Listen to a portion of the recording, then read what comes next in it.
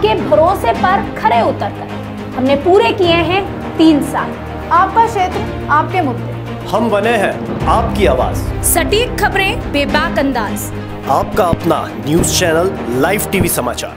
आगामी होली के त्यौहार के मद्देनजर क्षेत्र में कानून व्यवस्था कायम रखने तथा बढ़ते अपराध व गुंडागर्दी की घटना पर अंकुश लगाने के लिए मंगलवार को देर शाम चौकी इंचार्ज हरुआ सत्यनारायण प्रकाश सिंह के नेतृत्व में हरुआ क्षेत्र में सघन चेकिंग अभियान चलाया गया। इस दौरान हेलमेट, मास्क व गाड़ी के कागजात की चेकिंग कर हेलमेट व मास्क न लगाने वालों का चलान किया गया।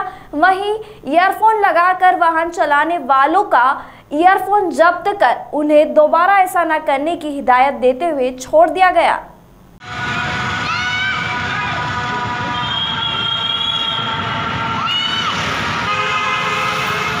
वाराणसी से नेहा पाठक की रिपोर्ट।